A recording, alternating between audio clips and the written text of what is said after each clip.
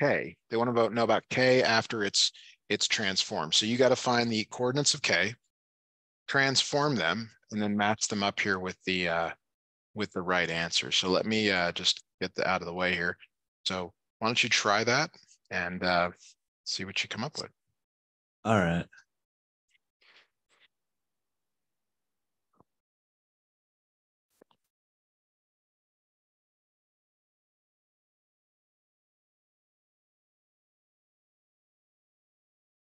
Uh, I got six two. That's the coordinates. Take a look here. That looks to be correct.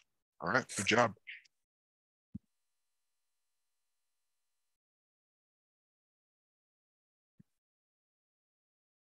Next one here is um,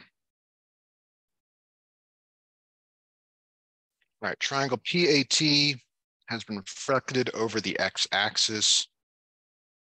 So we don't know where it is, but we know that this is the x-axis.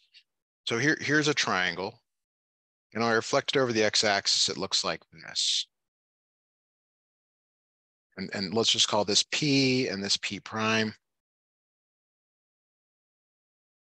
What uh, what can you say about the line connecting P to P prime here?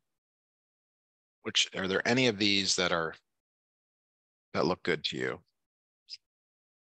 Um,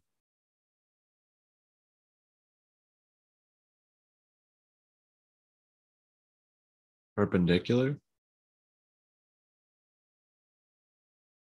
Yeah, I would agree. Um, the the they're perpendicular. The the x-axis and the line are perpendicular. They meet at 90 degrees. Good.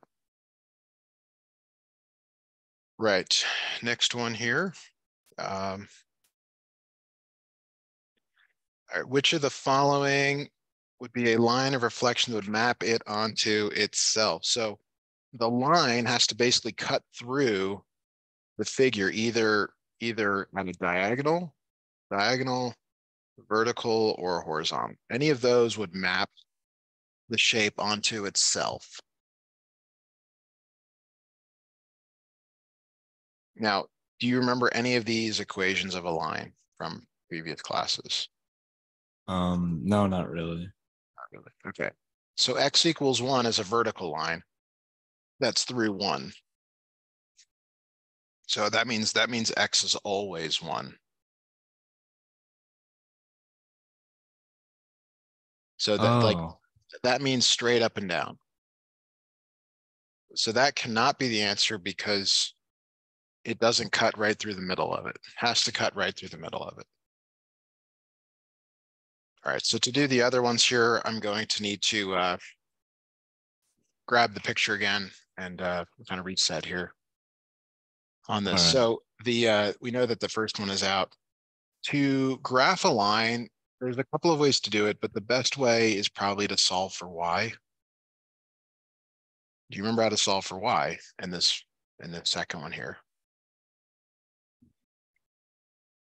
um, not sure.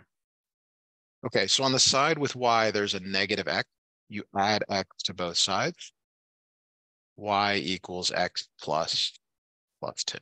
Oh, All right, now if you recall, that's that's in the form y equals mx plus b. y equals one x plus two. What is m and what is b? um, M is one X and B is It's only a number. m is just a number. Oh, B, okay. Two, b is the other number. Two. two.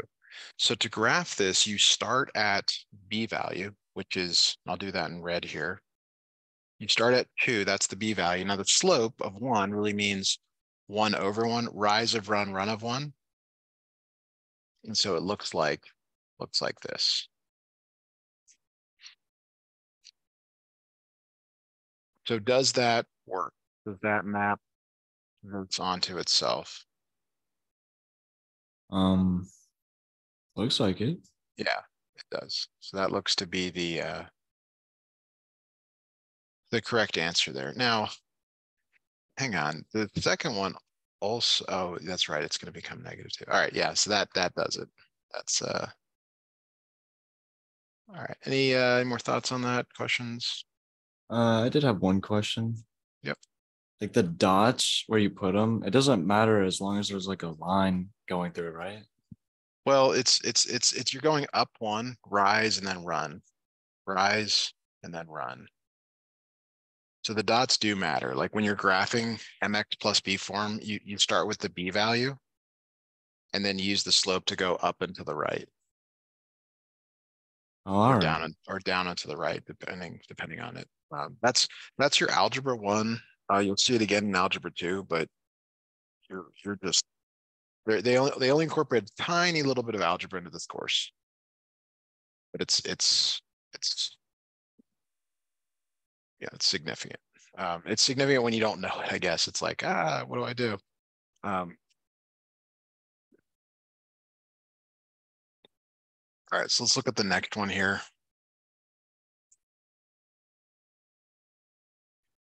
All right, figure EFGH represent a trapezoid plate at starting position on a rotating platform.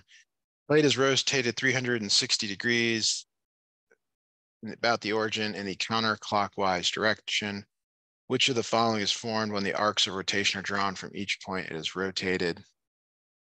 So they're, they're trying to say, let's make a really simple example. Let's say, let's say you have a dot. Draw the origin like that, and you, you rotate it around the circle. Around the origin. What does that form? What shape does that look like? A circle. circle. And then if I have another piece of it and I do the same thing.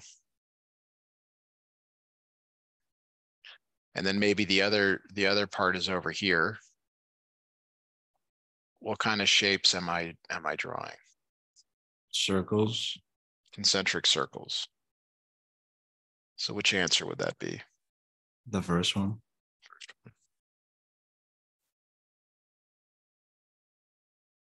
Okay.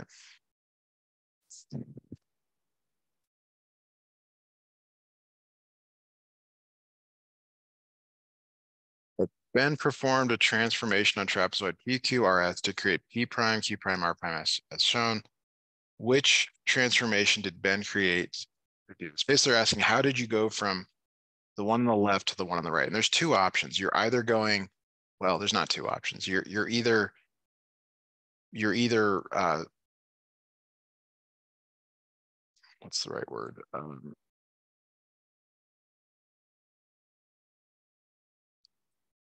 shifting. Uh, translating, sorry, translating, which is shifting. You're reflecting. Or you're rotating. So out of these three, which one seems most reasonable? Are you translating, which is like the D-pad, left, right, up, down? Reflecting is like a mirror. Rotating is going in some direction. Looks like it's rotating. I would agree. So that gets you down to those right there. So there, there's, there are two different types of rotations. There's clockwise. So we used to have, all have to learn how to use a, an old analog clock. That's clockwise. Or if you go the other direction, that's counterclockwise. And, and there's some, there's some, there's some overlap uh, between them. Let me uh, pull up the uh, reference here so you can see that. Snip this in.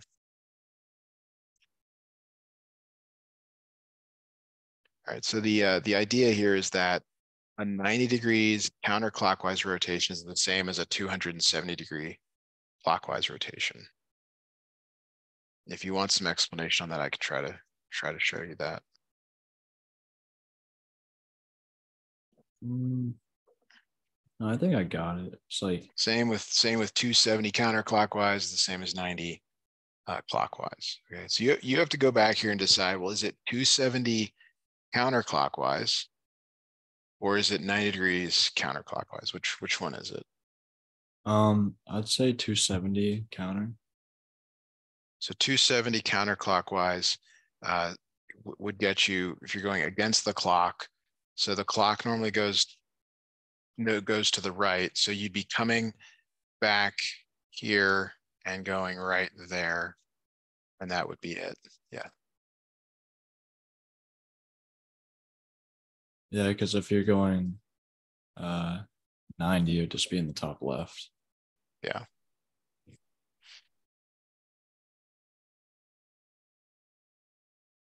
Good.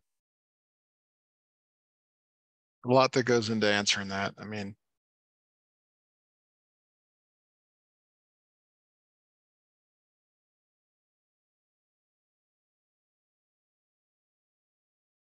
Okay, so the question, the question about uh number six that I want you to think about is when you is when you uh rotate an a triangle. That's what's or it says trapezoid, but it doesn't really matter actually. Um, if you rotate trapezoid, does the angle change? Do those angles change when you rotate it, the measure of them? No. They do not. So if they give you angle B, and we're asking about the rotated angle, what do you know about the angle measure? It's 20. It's twenty. There you go.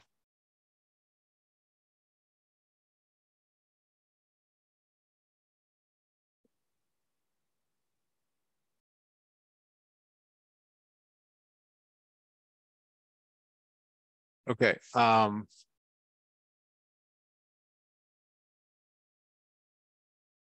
One here. Boy, went the wrong. Okay, there's that one. We just did that one. All right, here's another one.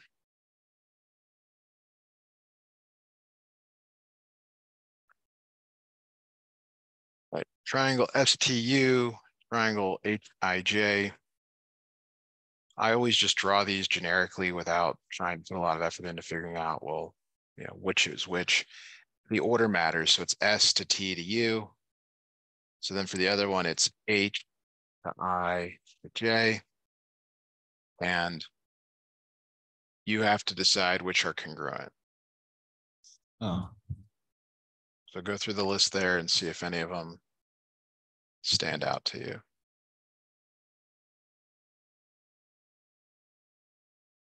Yeah, Angles are usually the easiest ones to start with.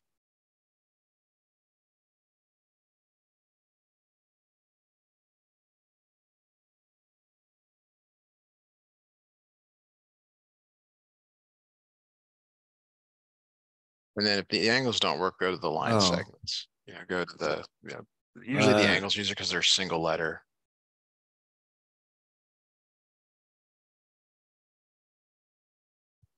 I'd say the bottom one. So what, what does that say there? U to S, so that's this one down here is U to S congruent to J to H? It looks like it. Right, um. Let's look at number eight.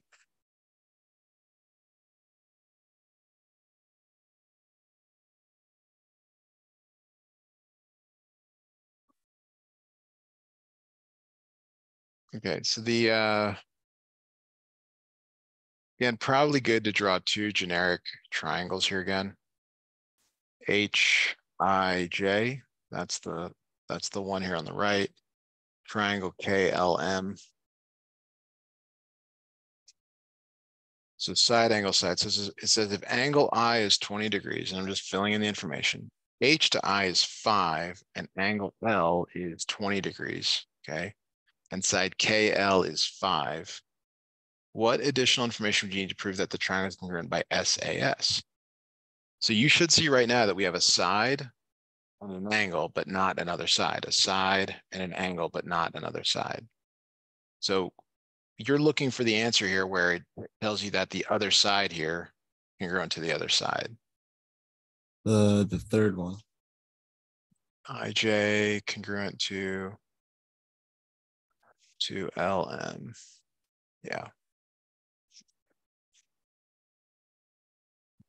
Good.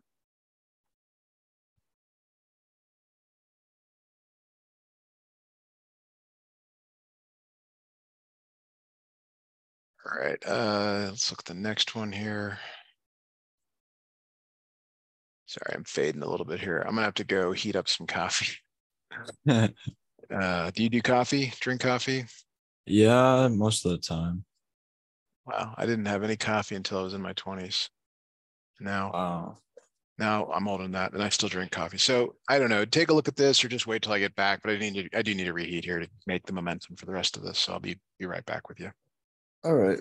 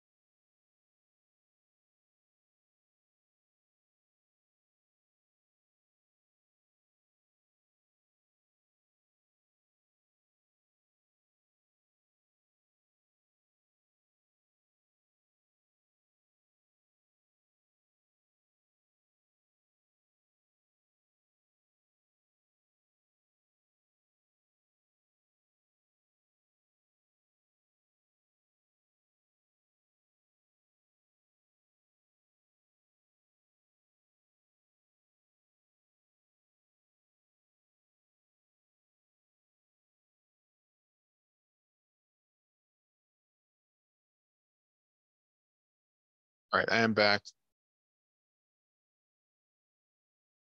Let me know when you're there. Uh, I'm here. Okay. All right, a land surveyor places two stakes five hundred feet apart. Oops. Point, uh, point A, point B, five hundred feet. He locates the midpoint between the two stakes and creates a perpendicular to that line that connects the two stakes. He needs to place, so, so that, it's right in the middle there, and that means it's two fifty and two fifty. He needs to place a third stake hundred feet away from this perpendicular line, so there's the perpendicular. He wants to put it hundred feet away. It's a little bit vague, but I think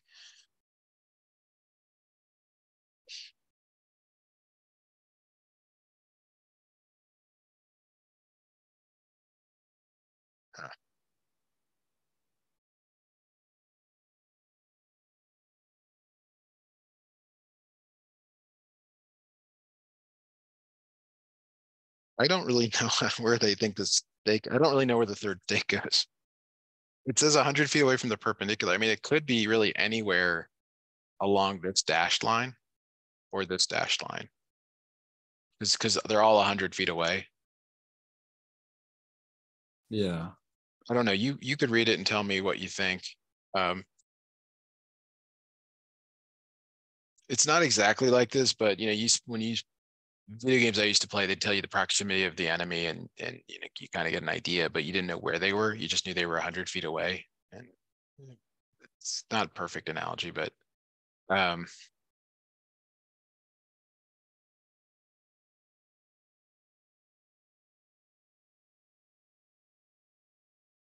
What do you think here? What's your intuition telling you? I'm not sure. Well, I think it's Well- the first one of the first two answers because it's talking about the third stake. Okay. Um.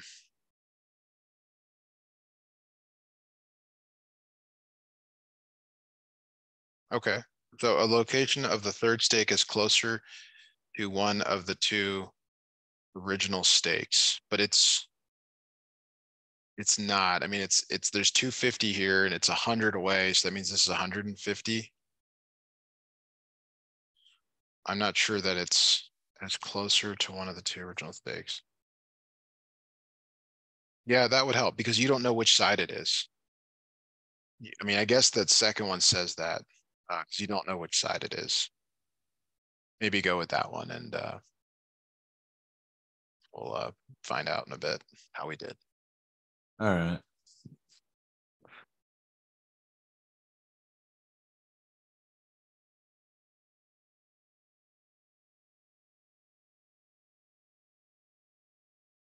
So that's nine. I don't have a ten in the chat. Um, you know, I don't know if you want to send off some more pictures or. Maybe that is it. Uh, no, I was just trying to send us like as many as I could before we started, but there's some more.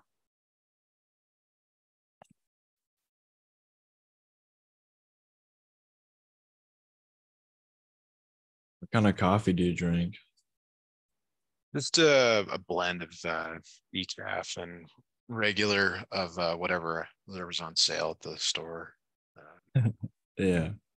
it all I never drink it all, and no reason to overspend. But all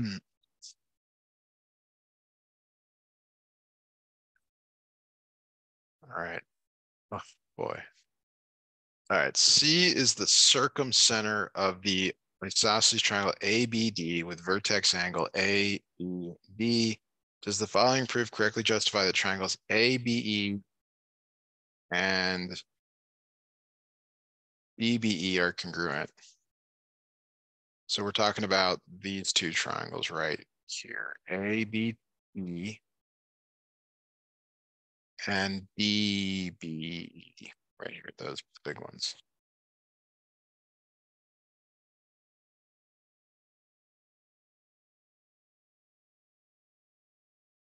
Like that. So let's look at the answers.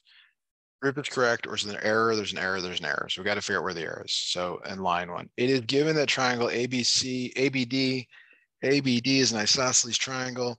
The segments AB and DB are congruent by the definition of isosceles triangles. That's true. If you have, if it's, if it says it's an isosceles triangle, then the uh, sides are the same. So that, that one is out. That make, is that okay? Yeah.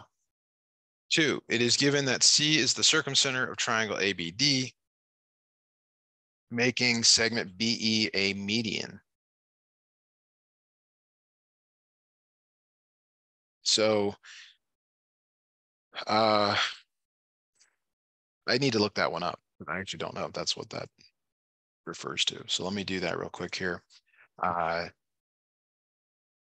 so I'm looking up definition of a circumcenter. Center. Isosceles. Triangle. Is the points for the perpendicular bisector. Uh, so is it a median? I think the way I read this, and I'll, I'll, I'll snip this in here. Um, is I don't read it that it's a, uh, it's a median. I read it as the circumcenter of a triangle is defined as the point where the perpendicular bisectors of the sides of that particular triangle intersect. In other words, the point of concurrency is the bisector of the sides of a triangle called the circumcenter. Like to me, it looks like it's the perpendicular bisector, not the median. Oh, there it is. So it says line two, they, they say it's a median, but it's actually a perpendicular bisector. So there is your, uh, there is your answer. All right.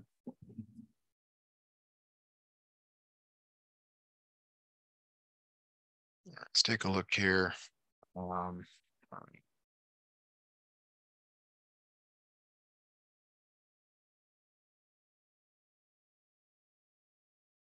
Okay, so because these lines are parallel.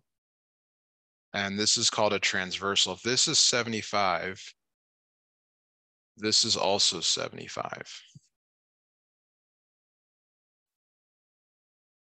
Yeah, can you um kind of extrapolate from what I've drawn here about that?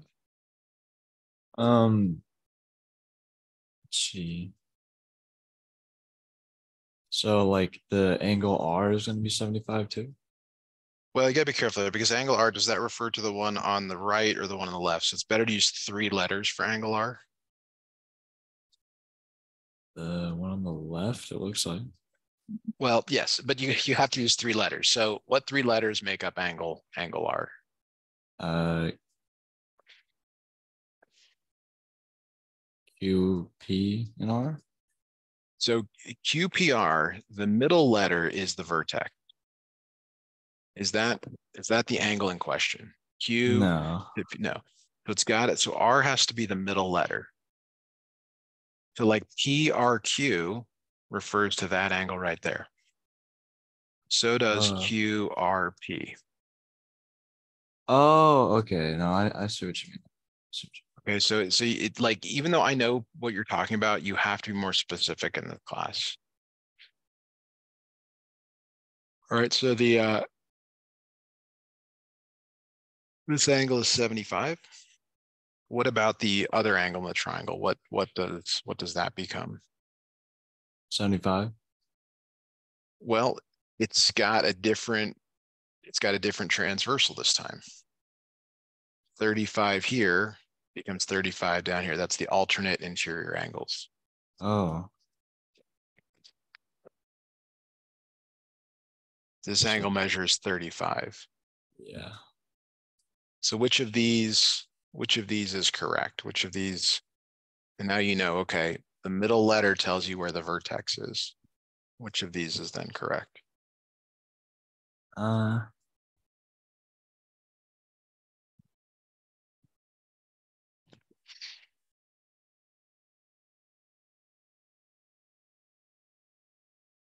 Thirty-five? So angle PRQ measures 35. Is that what you're saying?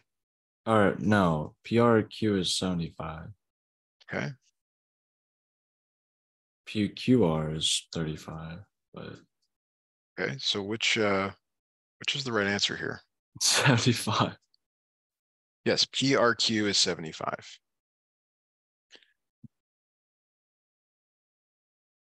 All right, good job on that.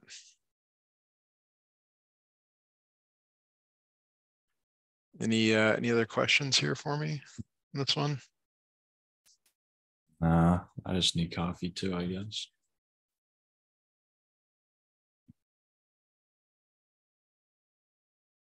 So. Just a moment here, I gotta block something off my schedule. That knocked out. Okay, there it is. All right.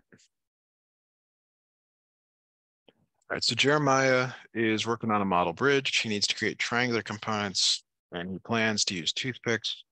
He finds three toothpicks of lengths four, five, and one inches. Will he be able to create the triangular component with these toothpicks without modifying any of the length? Okay. The, um,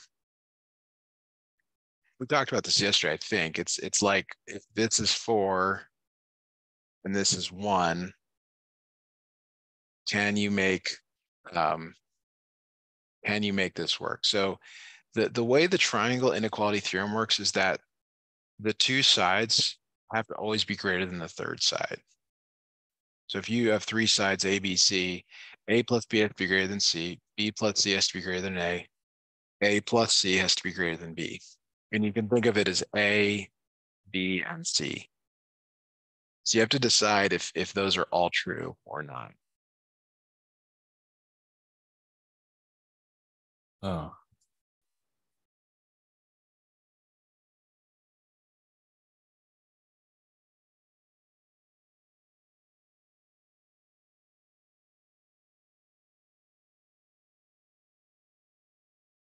uh.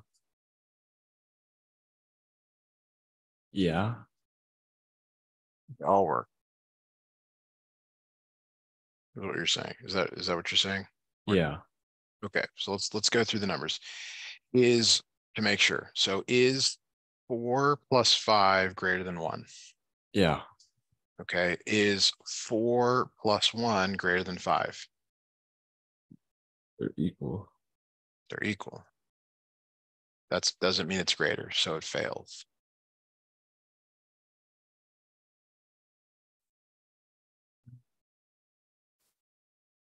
So no, So they have to all work. It's like an all or nothing thing. so would it be the third one? Yes. At least that's my best sort of guess here.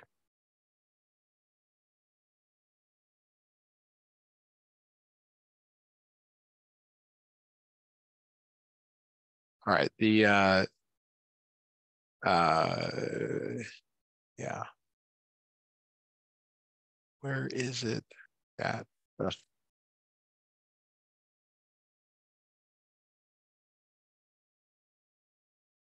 right, new uh new problem here coming up. How many we got here? Uh, the twenty total?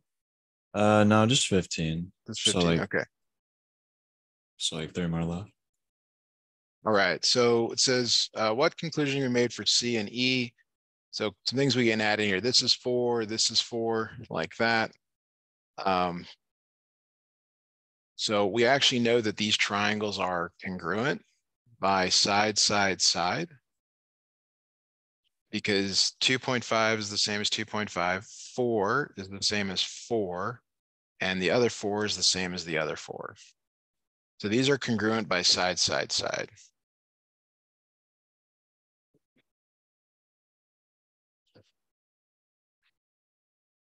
All right. Okay, and then uh, what does that tell you about the angles here? E and C, Uh, they're the same. they're the same. So let's see if there's one here that says that. Wow. Oh, I'm sorry. There, the, I, I apologize. I totally messed up here. This is two point eight, not two point five. Um, so they are not the same.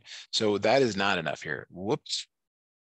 Whoop, whoops, whoops. All right, so, uh, boy, that's a major fail. There, the, uh, there's this other thing that happens in triangles, which is that the larger side is across from the larger angle. The smaller side is across from the smaller angle. All right. So that means that angle C is bigger than angle E or angle E is smaller than angle, angle C. So which, which says that down here? Um. Uh, the first one. Yes.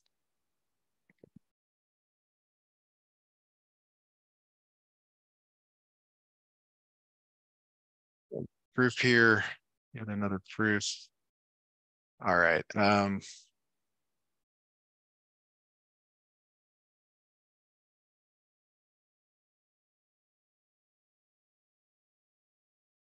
Okay, um, what going here? Claire's proof writes spelling proof for the theorem if the diagonals of a quadrilateral bisect each other. The quadrilateral is a parallelogram. So what she's saying is that is that uh, if you draw a first diagonal and then you draw a second diagonal, and then these bisect each other. Bisecting means they cut them in half. Then it's a quadrilateral. It's one of those properties. So um, I'm not sure where they're going with this, but they they start with okay, triangles AOB, AOB to this top triangle. Angle one is congruent to angle two in the bottom triangle. Okay, vertical angles. So it looks like they're proving triangles are congruent.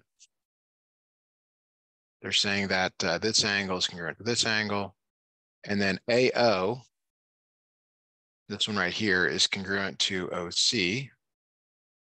And then BO, good old body odor, is congruent to uh, OD, like that. So the triangles are congruent by SAS. So the, you got a side, an angle the side, side, and angle on a side. So once the triangles are proven congruent, you always, always, always use this right here. This is always what follows from triangles are congruent.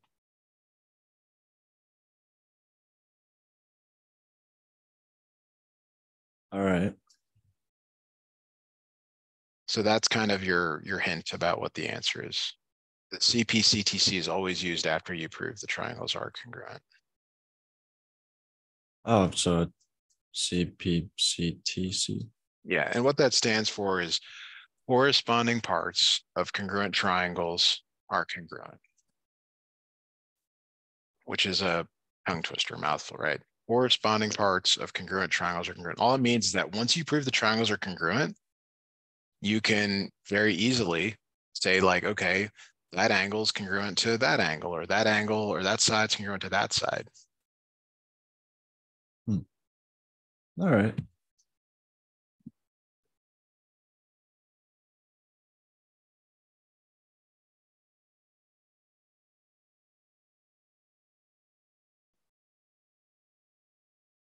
Questions on that? Oh, no. Okay. See if we can make it through here. All right, uh, next one on the list here. All right, so this is a rhombus, B A E, B to A to E. So this angle right here is nine X plus two. B to A to D is one hundred and thirty degrees. Solve for X. I'm sorry, the whole thing, sorry, the whole thing is hundred and thirty degrees. So this whole right here is hundred and thirty degrees. Um, what is it that allows that to be okay? So it must be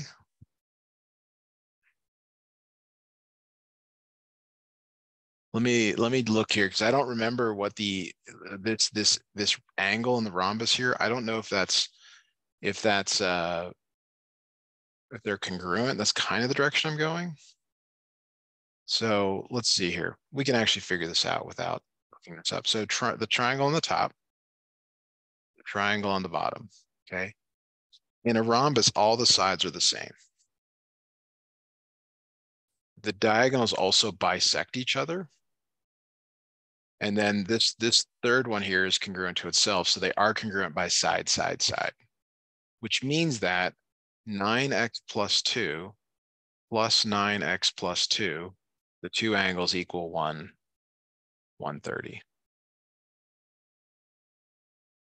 Oh, so I have to solve that now? Yeah, go, why don't you go solve that now and we'll see, uh, see what you come up with. All right.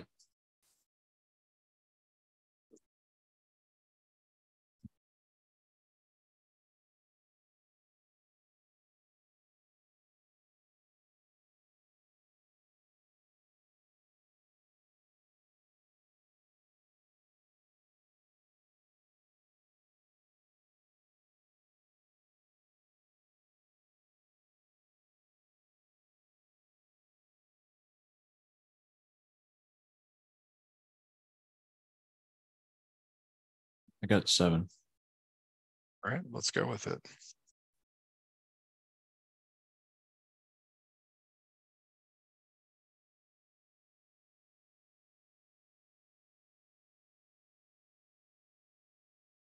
Any, uh, questions for me on that? Uh, no. Got a hundred. All right. Okay, so let's do a, let's do a little bit more here. Uh, maybe we'll stop a few minutes early. Why don't you drop over a few more questions? All right.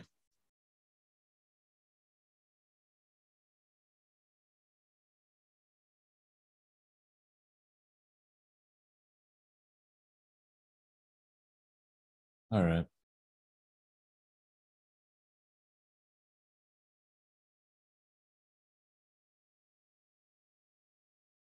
Just sent one over.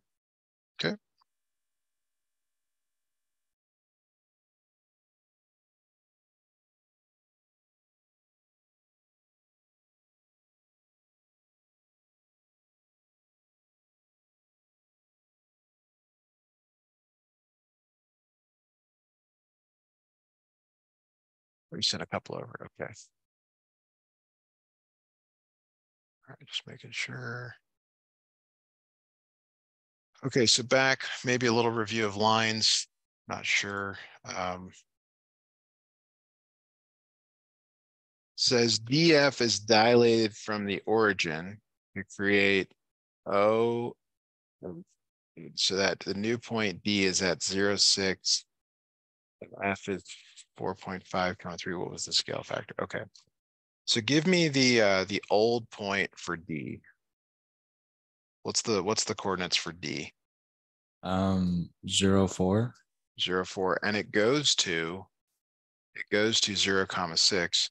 Give me the old coordinates for F, please. uh, three, two. And the new coordinates are four point five comma three. So what you're trying to figure out is, is what do you multiply zero to get to zero, which would be a lot of things. Or what do you multiply four to get to six? Like, how do you go from four to six, but you're multiplying this time? So it's really an Oh. equation. It's like four times K equals six. Do you remember how to solve something like that? No, So you divide both sides by four. K equals, what is six divided by four? let me check. Wait, four, oh, six divided by four? Yeah. Uh, one point five. One point five. Now, what you're hoping is, is does that work for the other one? Three times 1.5, 4.5.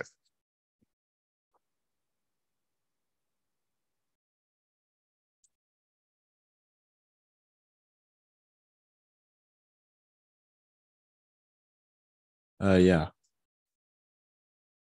Okay, now does the same thing for two? Is two times 1.5 equal to three? yeah. So that is your scale factor.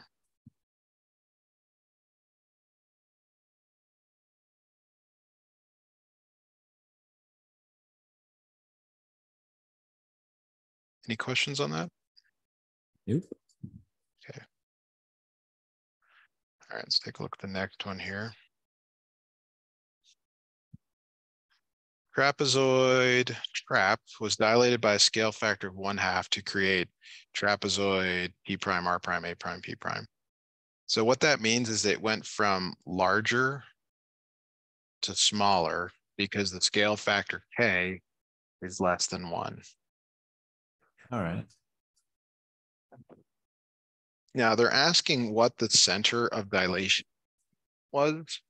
And the thing that the, the hard part, it's hard for me to just give you the answer because, but it's, it's, um, you have to look at symmetries. Let me say, I guess maybe that will help here. So is there, is there a line that sort of cuts them in half? Uh, the X. Yeah, there's a, that, there's a line that goes through X that cuts them in half. That would probably be the correct answer there.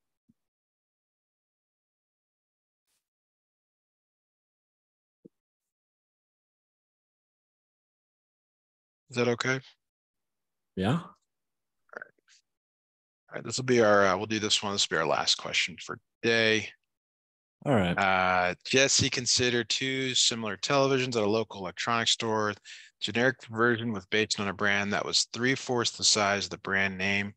The generic television set is 24 by 42. What are the dimensions of the brand name television? So you got to convert this, the second sentence into a, an equation. So the, the generic version was based on the brand name and was three fourths the size of the brand name. So the generic is or equals three fourths the brand name. Okay. And so said another way, the brand name is four thirds times the generic. All right. So are they giving you the generic or the brand name? Uh, generic. Generic. So you have to take these 24 and 42 and multiply it by four thirds.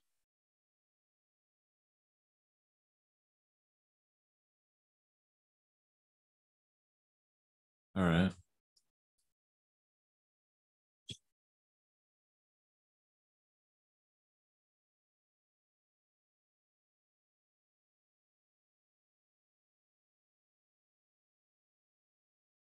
I'm not sure how to do that on my calculator. So you multiply four times 24 and then divide by three. Four times 42 and then divide by, by three. All right, thank you. Um, okay, so it'd be thirty-two inches by fifty-six inches. Okay, is that one of the answers? Yeah. All right, well, there you got it.